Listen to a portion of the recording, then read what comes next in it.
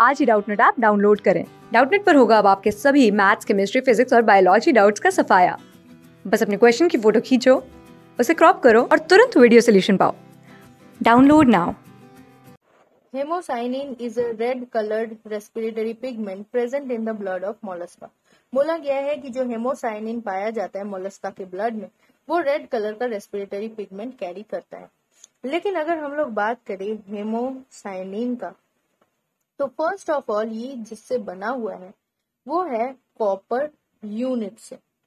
और copper units जो है, वो प्रोवाइड करते हैं इन रेस्पिरेटरी सब्सटेंस ब्लू कलर इसीलिए मोलस्का का ब्लड जब ऑक्सीजिनेटेड फॉर्म में रहता है ऑक्सीजिनेटेड फॉर्म यानी जब उसके ब्लड में ऑक्सीजन मिक्स रहता है, तब वो दिखाई देता है एज अ ब्लू कलर लेकिन जब यही ब्लड डीऑक्सीजिनेटेड फॉर्म में रहता है डीऑक्सीजिनेटेड फॉर्म यानी कि जब सीओ टू डिजोल्व रहता है तो ये कलर जो होता है, वो उड़ जाता है और ये बन जाता है कलर लेस इसका मतलब है कि जो हेमोसाइनिन है, वो कैरी करता है ब्लू कलर का पिगमेंट जो जो कि होता है due to the presence of respiratory pigment जो कि कॉपर से बना हुआ रहता है।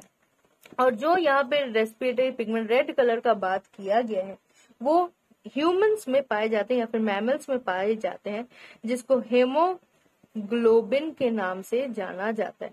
इसलिए जो हेमोसाइनिन का यहाँ पे लिखा हुआ है, ये बिल्कुल भी फॉल्स स्टेटमेंट हो जाएगा, क्योंकि ये ब्लू कलर का पिगमेंट जो है वो प्रोवाइड होता है इन द ब्लड और हीमोग्लोबिन ही ऐसा है जो कि रेड कलर का पिगमेंट इन्वॉल्व करता है ब्लड में और ये मोलस्का में नहीं पाए जाते हैं.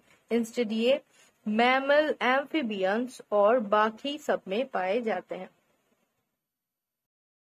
क्लास सिक्स से ट्वेल्थ से लेके NEET I I T JEE mains और एडवांस के लेवल तक.